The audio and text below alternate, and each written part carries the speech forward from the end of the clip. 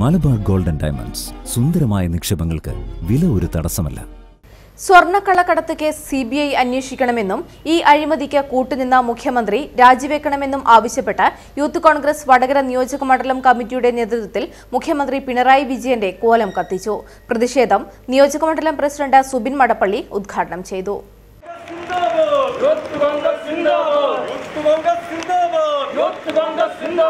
கள்ளக்காக்கும் கள்ளம் மாற்றம் கள்ளக்காக்கும் கள்ளம் மாற்றம்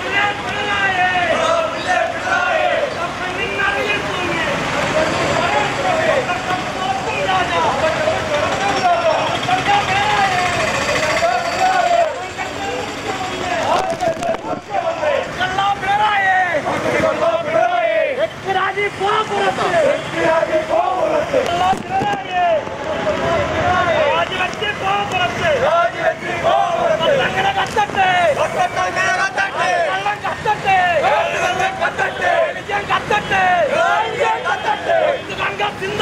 よくもがついた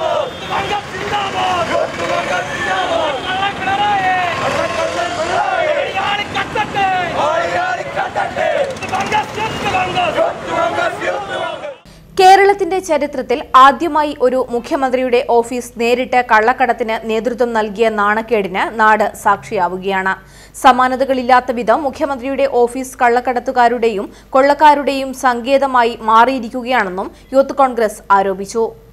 പ്രബിൻ പാക്കയിൽ സുജിത് ഒടിയിൽ രജിത് കോട്ടക്കടവ് അജേഷ് കോയന്റവിട ശ്രീജേഷ് ചോറോട് റസാഖ് കൈനാട്ടി ഷിജു സജിത് തുടങ്ങിയവർ നേതൃത്വം നൽകി.